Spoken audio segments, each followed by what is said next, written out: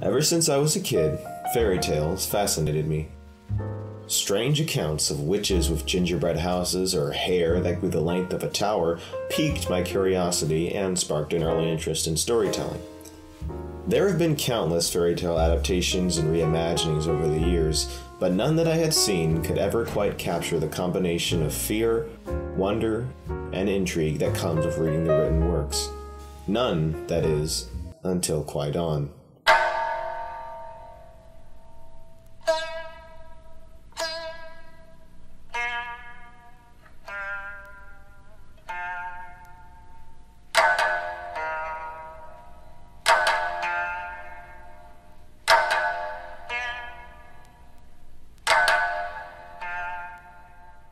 Kwaidan is a 1965 Japanese horror anthology film directed by Masaki Kobayashi and adapted from English Japanese immigrant Lafcadio Hearn's 1904 book of the same name. The book is a collection of old Japanese folk tales translated by Hearn into English, with the film being an adaptation of four of these The Black Hair, The Woman of the Snow, Hoichi the Earless, and In a Cup of Tea. Kwaidan was critically acclaimed upon release, winning several awards, including the Special Jury Prize at the Cannes Film Festival and even a nomination for Best Foreign Film at the Academy Awards. In this video, we'll explore how this largely forgotten 56 year old masterpiece perfectly captures the essence of the fairy tale genre through cinema. Let's begin.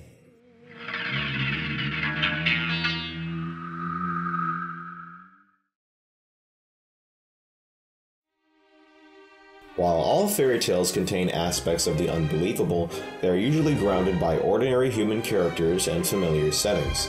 The intersection of the uncanny and the relatable is part of the reason why fairy tales remain so ingrained in pop culture, with many classic characters and locations becoming beloved, instantly recognizable icons. Kwaidan innovatively achieves this balance through its constant shifts between realistic and surreal, using bright colors and psychedelic effects to transform commonplace locales into supernatural domains. To explain what I mean, let's take the forest, one of the most well established fairy tale settings ever, and compare a more typical visual representation with Kwaidan's. Here is an illustration of a forest taken from a German novelization of Hansel and Gretel. Notice how the forest itself looks rather realistic and ordinary, only made fairy tale like by the addition of the owl and gnomes.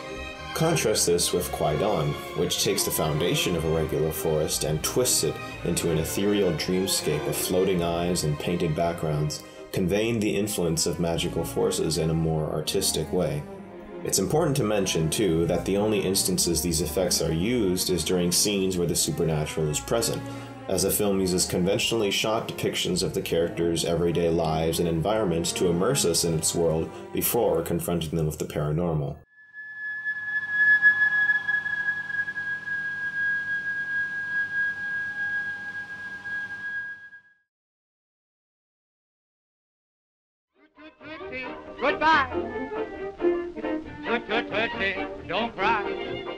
By nature, a film is a combination of sounds and images. A book, on the other hand, is totally visual. The most we can do sound wise while reading is imagine the noises and music we deem appropriate, and just like anything else that relies on imagination, this is a subjective process. The giant squid! Of course, just like I mentioned earlier, there is some fairy tale imagery that has become so well known that it lends itself to some sounds naturally.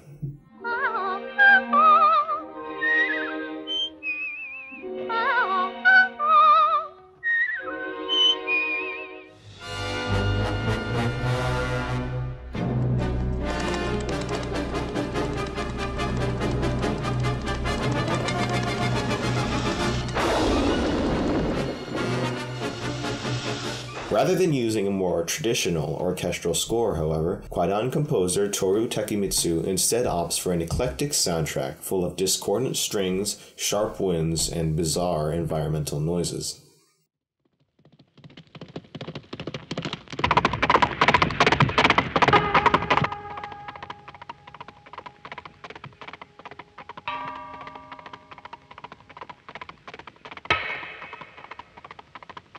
Unpredictability and idiosyncrasy of the sound design robs us of the comfort of familiar musical conventions, complementing the visuals to produce a wholly unique cinematic experience. Some of the horror sequences in the film even mismatch the music and sound effects with the images on screen, creating further discomfort by focusing our attention on the dissonance between the two.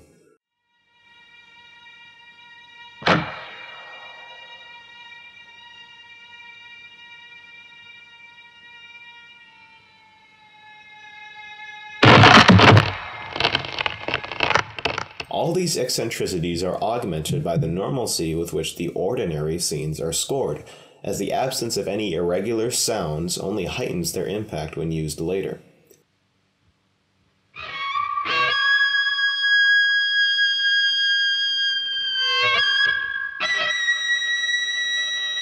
Sure, a Disney like orchestral score would have been more in line with modern perceptions of fairy tales, but in reality, much of the intrigue of these stories comes from their unusualness.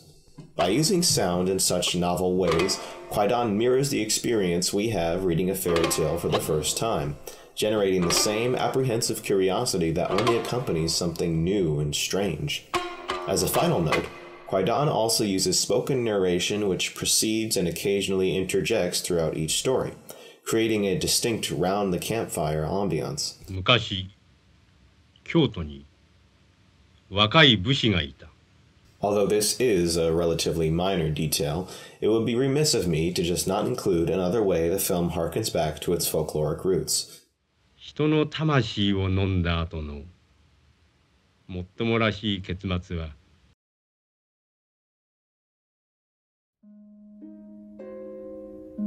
A general commonality amongst fairy tales is their length. most, in their written form, tend to be fairly short, concise stories no longer than 20 pages. Hearn's original Kwaidan is no exception to this rule. For example, the original Woman of the Snow short story is only about three pages. In the film, however, the Woman of the Snow segment is a whopping 40 minutes, itself only half the length of Hoichi's 80. And yet, no segment of Kwaidan feels unnecessarily long or padded. Kobayashi's carefully controlled directing gives importance and depth to each scene, using long, lingering shots to let the film's unsettling atmosphere soak in. In allowing the viewer the time to take in the striking visuals and score, Kobayashi is inviting us to turn the page, allowing ourselves to become more and more entranced by the film's eerie mystique.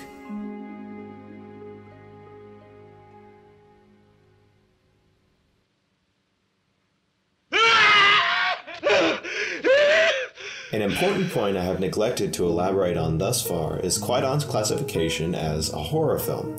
While initially this may seem to conflict with the family friendly image associated with fairy tales, it's worth pointing out that these stories never shied away from the grotesque or frightening, even if it was in service of a moral lesson. In the original version of Little Red Riding Hood, for instance, the story ends with the wolf simply tricking and devouring the young heroine after eating her grandmother. By contrast, nothing in Kwaidan is as gruesome as some of these earlier tales, with much of the horror coming from the slow building of tension and general disquieting mood. This lack of blatant, in your face horror allows the moral implications of each story to shine through, with the frights always feeling in service of a greater lesson.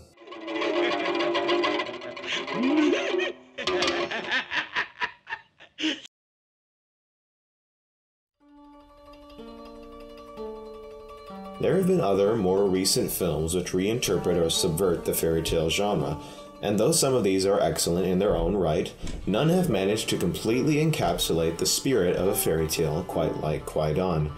Even amongst the classic fairy tale adaptations of the past, Kwaidan remains an unprecedented and underappreciated piece of filmmaking, and one that I would highly recommend you check out. There is one more aspect of Kwaidan I didn't bring up, which I think definitively rounds out its embodiment of folkloric tradition, but to give it away would spoil the ending. So, if you'd like to know what I'm talking about, please give Kwaidan a watch. See you next time.